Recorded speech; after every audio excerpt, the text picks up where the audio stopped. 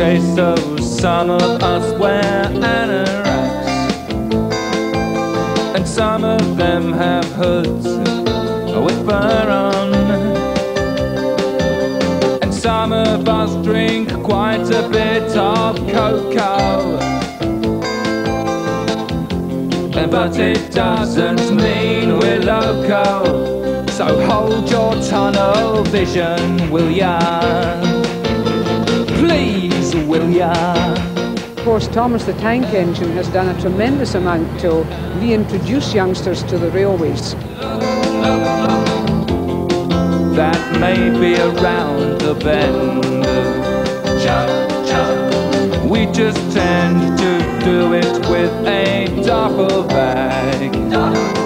But we're train spotters, we're not trendsetters. It's a passion.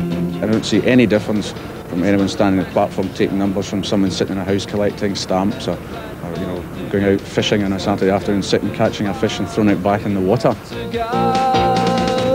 It's taking down another person's underwear,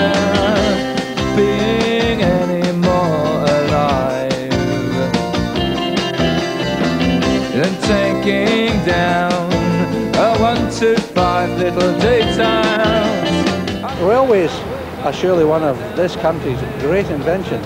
They're a wonderful art form in almost every part of them, from the civil engineering through the architecture, uh, to the rolling stock, the trains themselves, and of course railwaymen and railway women. Great people. Ticket takes us to the end of the platform show. Railway enthusiasts and train spotters are very visible if they're standing out on the end of station platforms. And so people who are not into the hobby immediately can identify them and perhaps point the finger at them. So is the happy shunter hunter any more insane than the rotters without jotters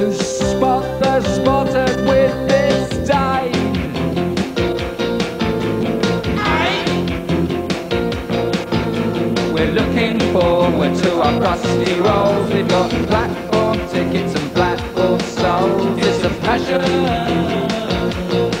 It's not a fashion show. It's smacking dough.